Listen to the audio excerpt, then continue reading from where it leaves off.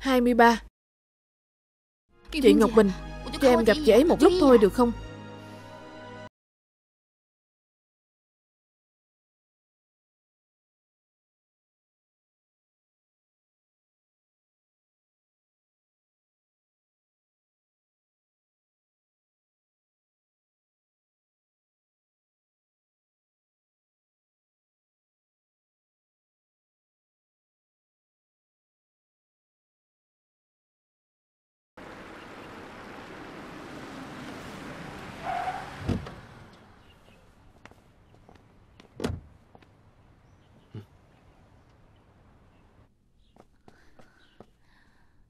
Ở đó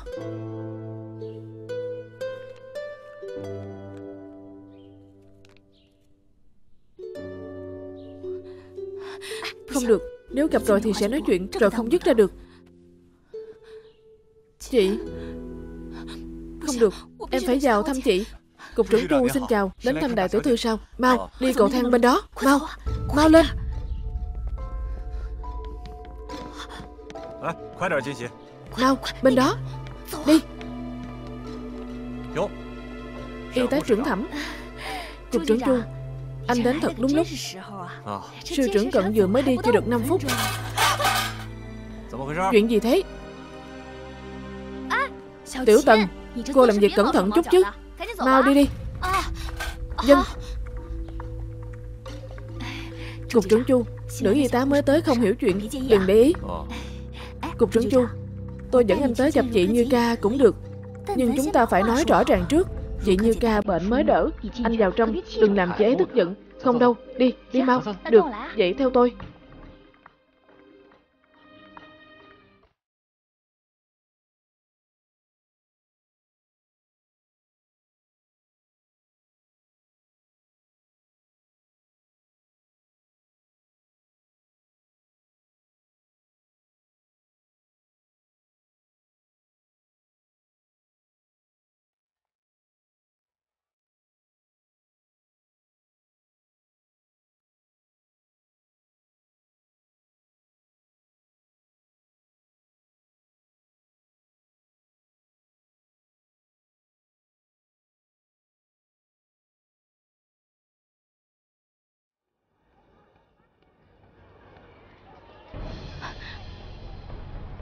Chạy cái gì? Tôi Tôi không có chạy Cô vừa mới từ bệnh viện đi ra đúng không? Ai Ai từ bệnh viện đi ra? Cô đến thăm Trần Như Ca đúng không? Trần Như Ca là ai? Đứng lại. Còn chạy nữa là tôi nổ xuống. đó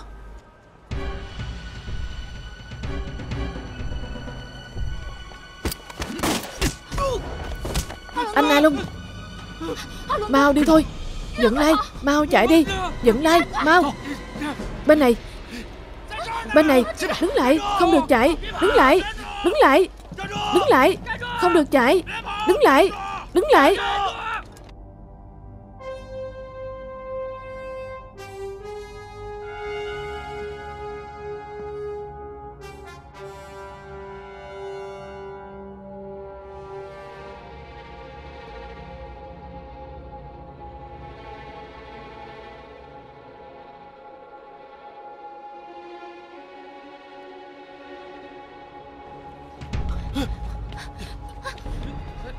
Dẫn lai Mau, Đợi tôi với.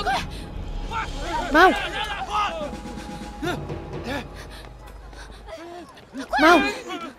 Nhị tiểu thư, Mau đi.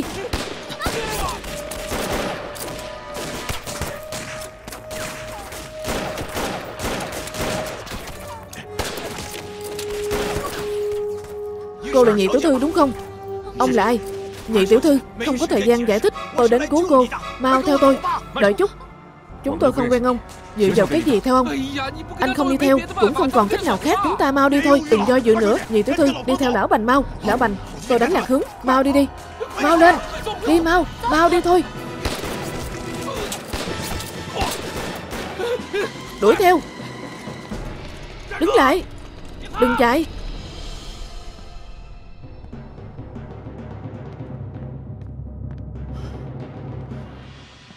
Cậu chủ, thế nào rồi? Yên tâm đi, mọi người đều không sao. Lão Bành dẫn họ đi trốn mấy ngày, rồi đưa ra khỏi thành. Được, dứt giả rồi, nghỉ ngơi đi.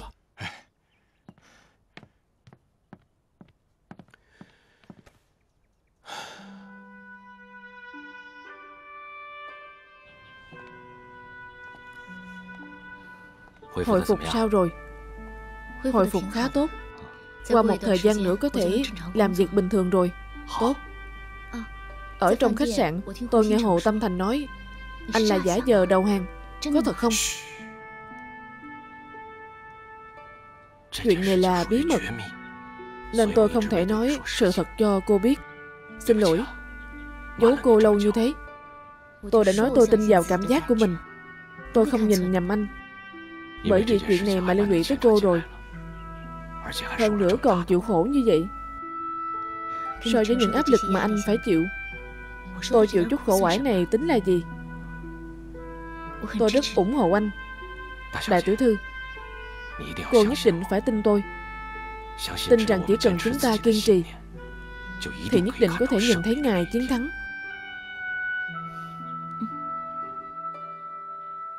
Thầy Tôi đã cho giới nghiêm cả thành rồi. Làm ăn bừa bãi Làm cho chó gà không yên. Làm như thế thì có tác dụng gì chứ? Nơi này nhất định có người là đồng bọn với đám sát thủ đó. Nếu không thì bọn chúng không thể lần nào cũng thoát được. Bọn chúng đến bệnh viện Cô Tô để làm gì?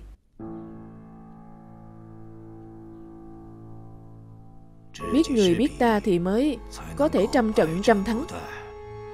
Đối với những người này Tôi thật sự là không hiểu cho lắm Chỉ có thể tăng cường phòng bị.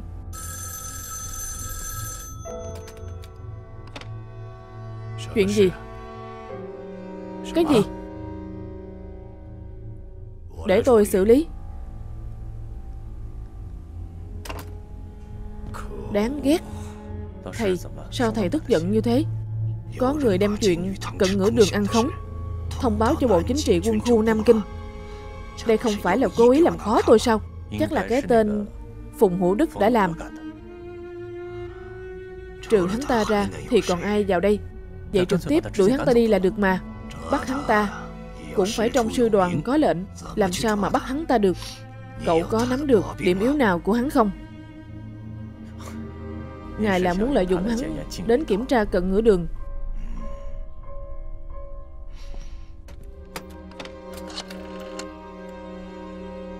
Gọi sư bộ sư đoàn cảnh vệ cho tôi. Bảo cận ngửa đường nghe điện thoại. Được Tôi biết rồi.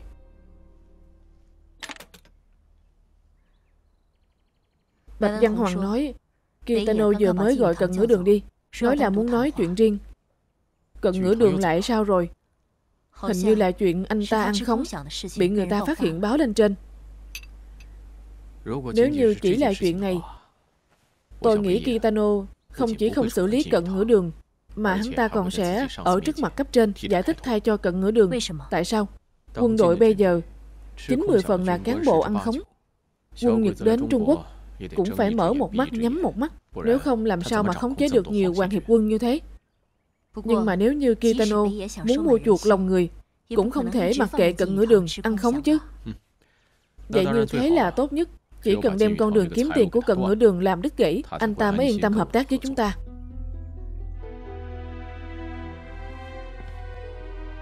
Cảm ơn ngài cố vấn đã khai ân. Cận quân Cậu là thân tín của tôi. Nhất định tôi sẽ bảo đảm an toàn cho cậu Nhưng cậu cũng cần bớt bớt lại chút. Không thì đám người của Bộ Chính trị quân khu Sẽ cắn lấy cậu không tha. Dân Mau về dẫn binh cho tốt đi. Cận mổ xin phép ra về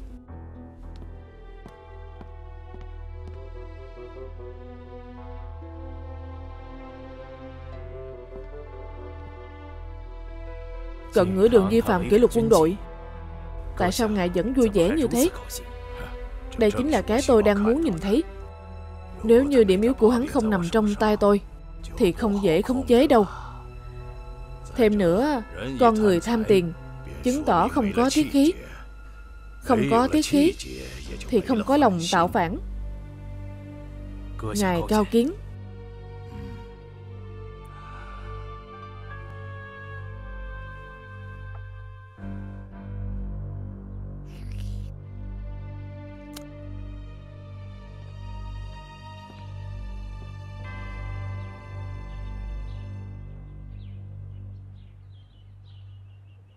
Phương Nguyên nói muốn hợp tác với ngữ đường sao?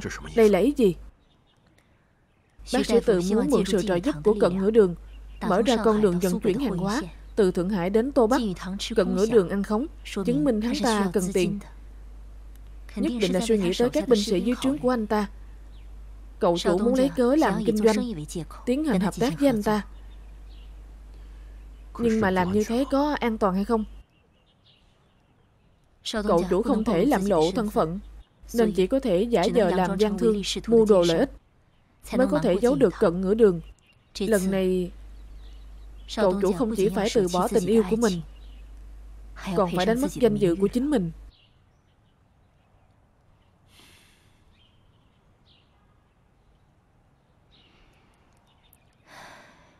Xem ra con đường ăn khống không đi được nữa rồi Nhưng chúng ta còn có mấy trăm anh em hy sinh cho tổ quốc Tổ tiền hiện tại không đủ Để ổn định cho người thân của họ. Tương lai một khi phản chiến Người nào tham gia sẽ được trọng thưởng Người không tham gia phải đi. di tản. Biết bao nhiêu là tiền. Sư trưởng Tôi có một cách.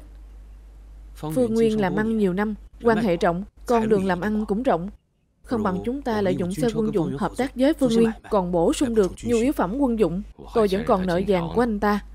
Anh ta chịu hợp tác với chúng ta không? Làm ăn là chuyện hai bên cùng tình nguyện. Nếu Phương Nguyên không tham gia Thì chúng ta tìm nhà khác. Được. Vậy thăm dò thái độ của anh ta Xem anh ta có chịu hợp tác hay không? Dân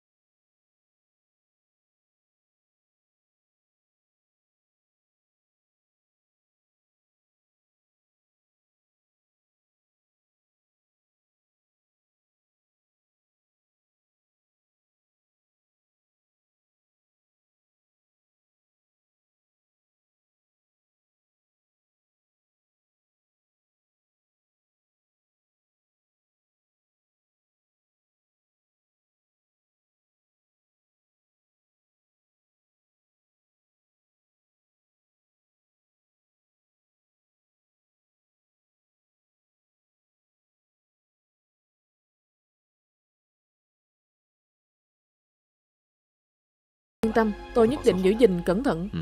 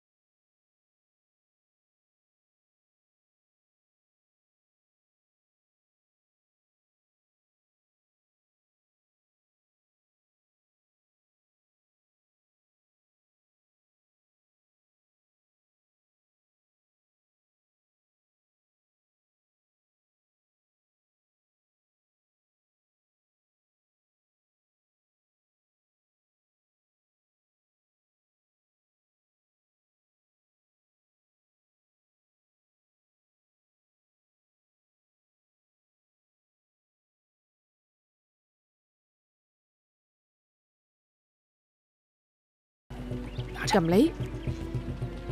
Chăm trước đi. Cho qua. Cảm ơn.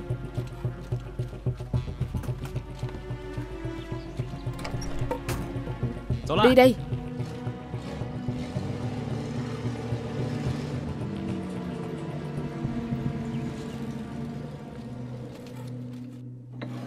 Sư trưởng Đây là thù lao mà Phương Nguyên trả lần này. Phương Nguyên ra tay rất hào phóng. Sau này có thể tiếp tục hợp tác. Dân.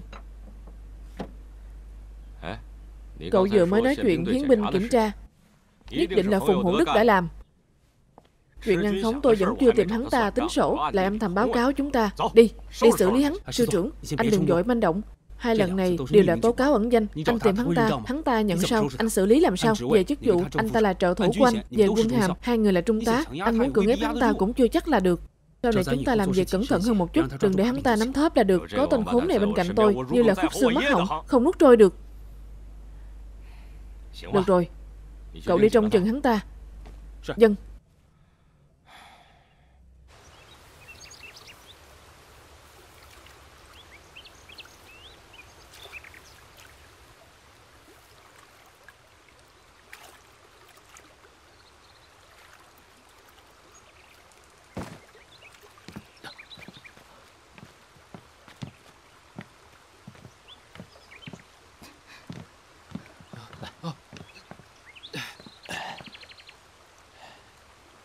Tiện đến đây thôi. Cảm ơn Cảm ơn cảm ơn. Các người đi đường cẩn thận. Vậy tôi về đây. Được. Đây. Đây Đứng vững nhé. Đi cẩn thận. Được. Về đi. Hai ngày nay Được lão bạnh cho ẩn náu dưới hầm đất Làm tôi chết chán rồi. Tôi thề Không làm ám sát nữa. Nhị tiểu thư Đại tiểu thư nói không sai.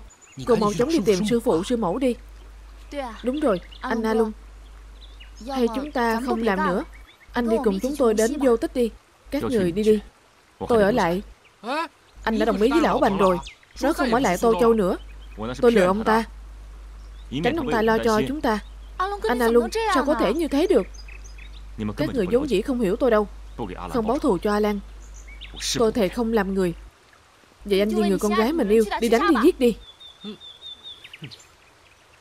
Đại tiểu thư nói đúng. Chúng ta vốn dĩ không phải là người cùng đường. Cô cùng dẫn lai đi đi.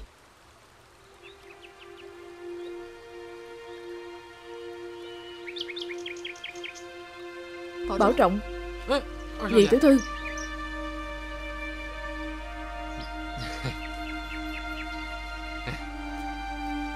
Đợi tôi với. Nhị tiểu thư. Nhị tiểu thư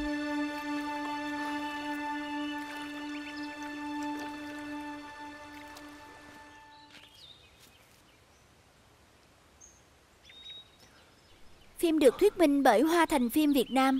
Chúc các bạn xem phim vui vẻ.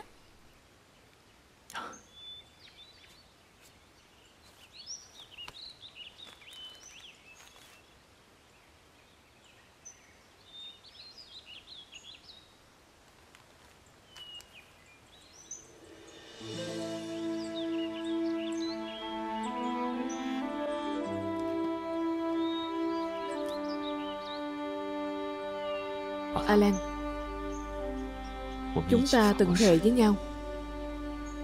Cùng nhau đánh quân Nhật, Giết Hán Giang.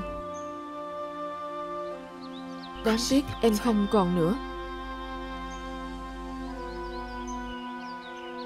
Anh sẽ tính cả phần của em.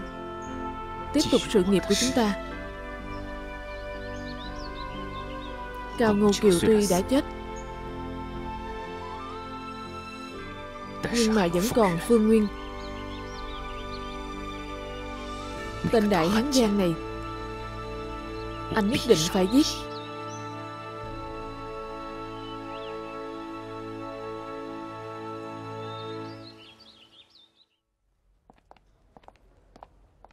Cậu chủ Làm ăn sao rồi. Rất tốt Có thêm mấy khách hàng mới. Vậy thì tốt.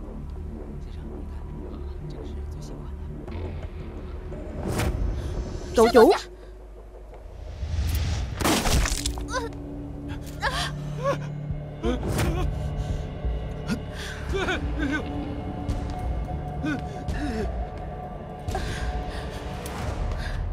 Cô sao rồi?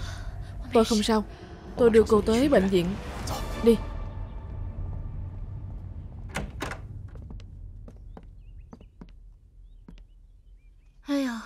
Ngọc Bình. Tôi chỉ mới rời đi có mấy ngày. Thật sự là có chút nhớ căn phòng này lắm rồi. Chị Như ca Mấy ngày chị rời đi Đồng nghiệp trong bệnh viện đều rất nhớ chị. Chị Như ca Chị hồi phục rất nhanh Vừa nãy đi một vòng bệnh viện. Em thấy ngày mai chị có thể xuất viện rồi. Xuất viện thì không có vấn đề. Nhưng mà muốn làm việc bình thường. E là phải đợi mấy ngày. Đương nhiên rồi. Chị là vết thương trúng đạn. Phải nghỉ ngơi đàng hoàng Không được vội vàng đi làm. Y tá trưởng Y tá trưởng. Có người trúng đạn Chảy rất nhiều máu. Người nào trúng đạn Là nhà thiết kế châu báu của Dương Tử Dư Hà Cô ấy bị thương ở đâu Cánh tay trái chảy rất nhiều máu. Ngọc Bình Chuẩn bị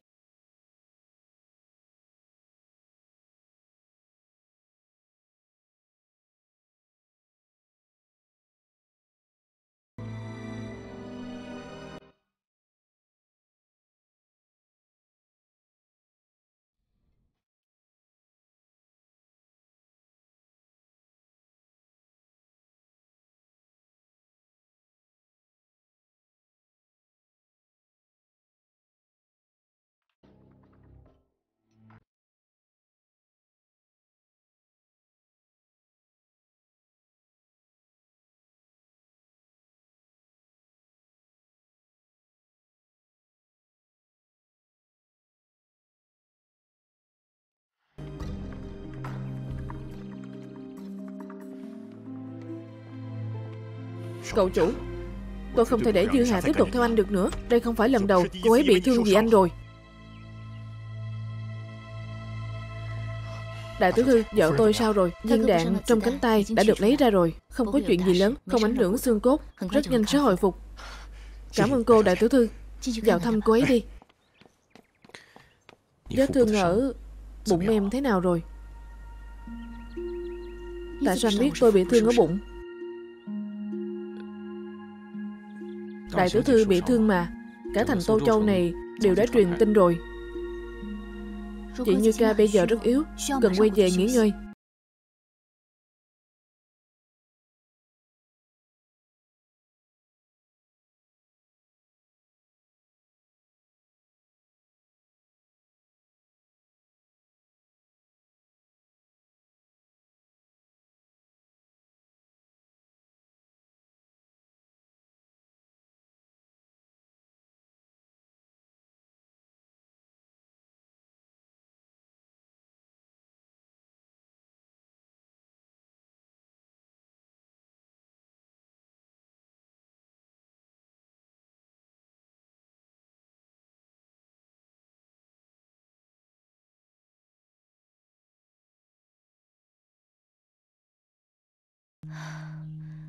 Tôi đỡ nhiều rồi.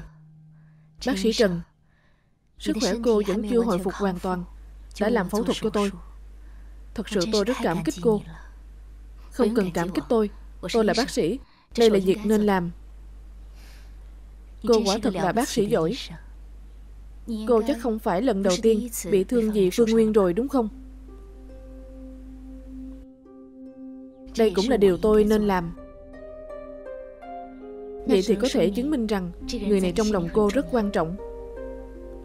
Bác sĩ Trần, Bây giờ tôi là vợ của Lưu Hậu An. Người quan trọng nhất bây giờ trong lòng tôi Chỉ là chồng tôi. Thực ra hôm nay Tôi muốn nói với cô, Nếu như cậu chủ thật sự yêu một người, Thì anh ấy sẽ không thay đổi. Chị Như ca, Sư trưởng cận tới rồi. Anh ấy nói muốn đưa chị về. Biết rồi. Bác sĩ Trần Chị và sư trưởng cận Cô dưỡng thương cho tốt.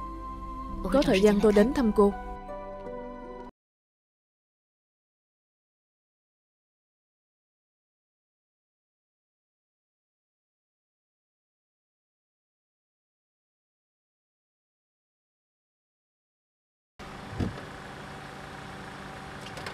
Nào, chậm thôi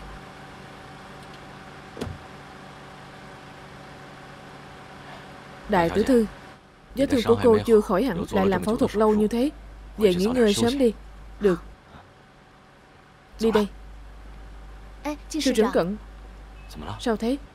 Tôi nghĩ tá trưởng thẩm nói Khoảng thời gian tôi bị thương Anh luôn chăm sóc cho tôi. Cảm ơn anh. Nên làm mà.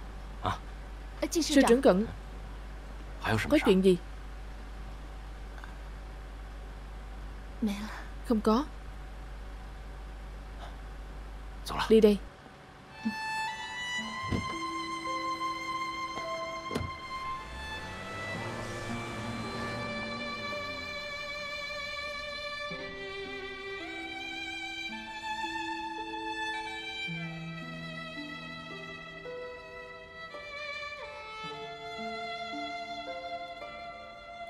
Chị biết không Viện trưởng Trương nói Nếu không phải dùng nó ấn chặt vết thương Tránh mất máu quá nhiều Chị đã gặp nguy hiểm rồi.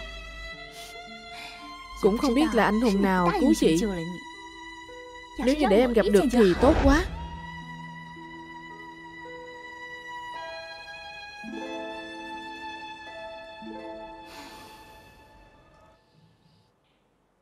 Vụ án hành thích trước cửa Dương Tử rõ ràng chứng minh Mục tiêu sát thủ của Thượng Hải là Phương Nguyên Thầy nói rất đúng. Từ vụ nổ lần trước Mục tiêu của tên sát thủ lần nào cũng là Phương Nguyên Rất có thể Phương Nguyên trước đây kết thù.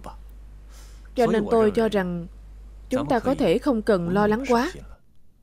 Sát thủ này Làm loạn trật tự Tô Châu Làm cho lòng người hoảng loạn Nhất định phải tìm cách bắt được hắn.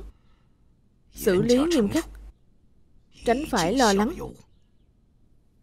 Dân Học sinh sẽ nhất định toàn lực truy bắt Bây giờ trừ tướng mạo cụ thể của hắn Hình dáng, giọng nói, tuổi tác Chúng ta đều nắm rõ Chỉ cần hắn ta lộ diện Nhất định có thể bắt được.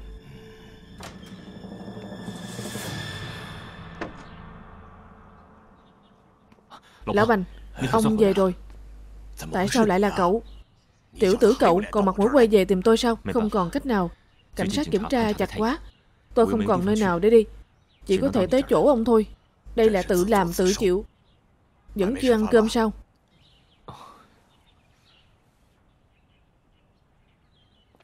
Vào đây.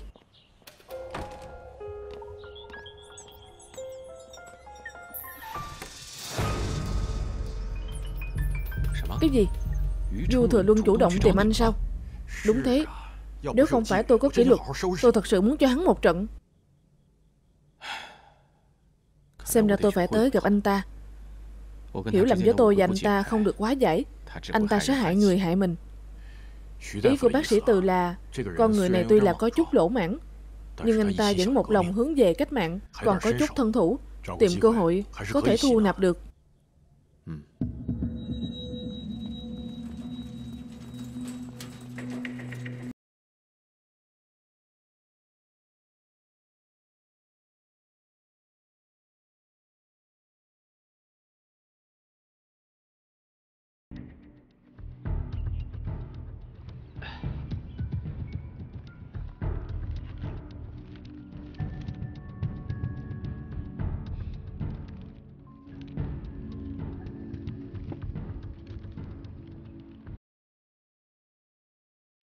Lái xe không? Không lái nữa, mệt rồi. Phương Nguyên, anh tìm cái này sao? Anh không cảm thấy khẩu súng có sự thay đổi sao? Không có đạn. Anh muốn làm gì? Cất súng đi.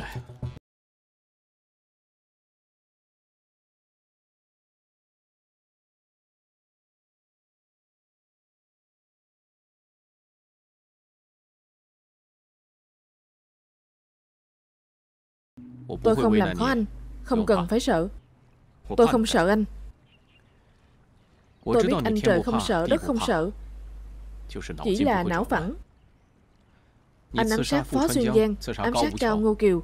Lần nào cũng thất bại. Tại sao? Còn không phải do anh sao?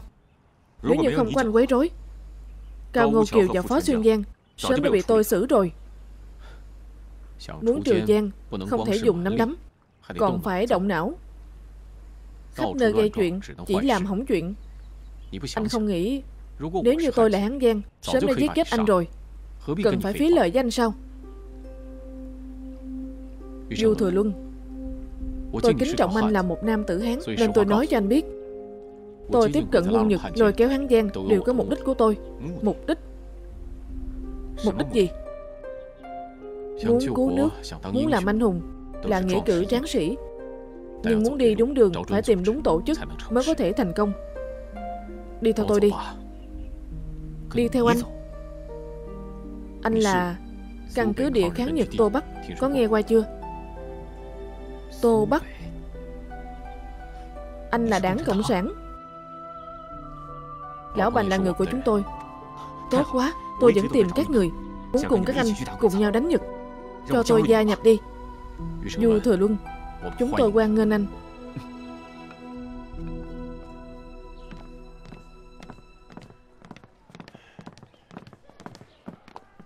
Bà Lưu, hôm nay xuất viện sao?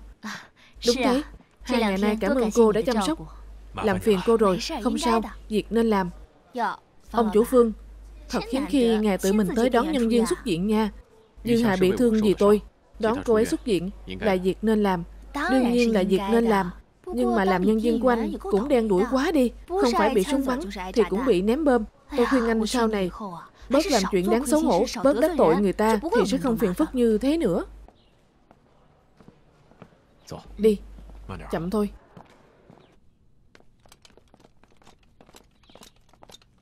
Sư trưởng Thư của ngài. Ai gửi tới? Không biết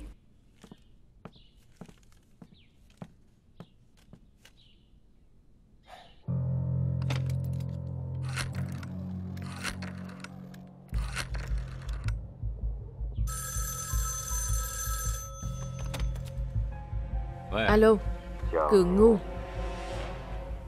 Anh là ai? Ô thước.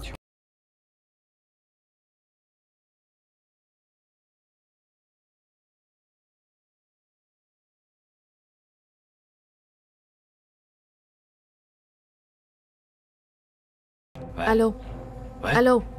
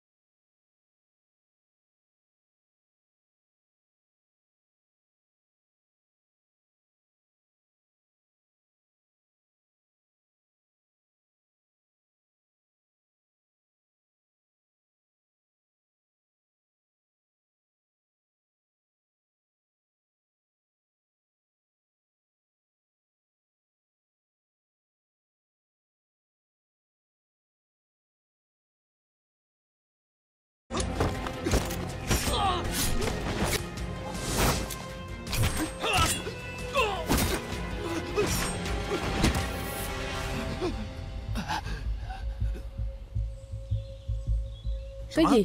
Ba người đều chết rồi sao? Hay báo cáo chuyện này lên Bộ Chính trị quân khu? Không được. Nếu như đợi họ hồi âm Cần ngửa đường sớm đã chạy mất rồi. Vậy ý của ngài là Tôi lập tức đi tìm Kitano. Dọa ông ta một trận.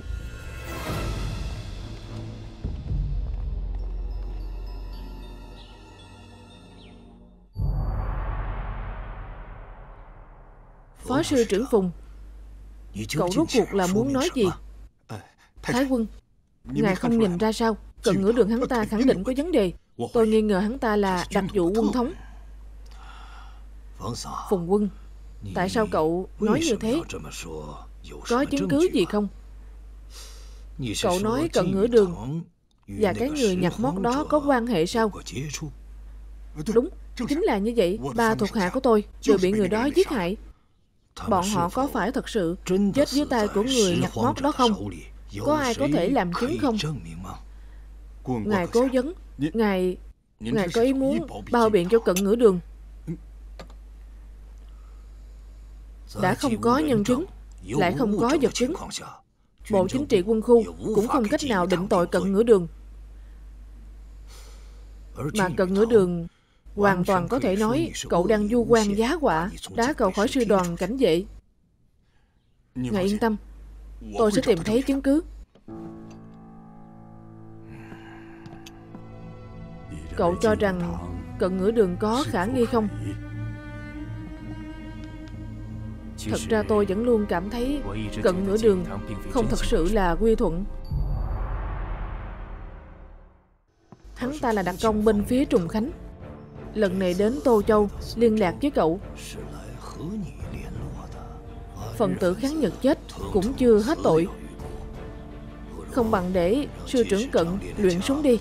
Được, để tôi tiễn hắn đi. Tôi suy đoán Kitano đang nghi ngờ tôi. Kitano nhất định là đang giám sát nghiêm ngặt cận ngửa đường. Núi cao sau lưng cận ngửa đường là Kitano. Muốn thay thế, làm sao mà dễ thế được? Điểm yếu của Kitano nằm trong tay tôi. Quản tôi làm cái gì? Anh động vào tôi thử xem. Sư trưởng, đêm qua chúng tôi đụng chạm với Phương Nguyên, nói là tay trong của Phùng Hữu Đức, nắm được điểm yếu của cố vấn Kitano. Tôi thật sự là không nhìn thấu được cậu. Lương tâm của cậu thật sự hỏng rồi. Thái quân ơi Thái quân. Thay cho tôi đi Thái quân.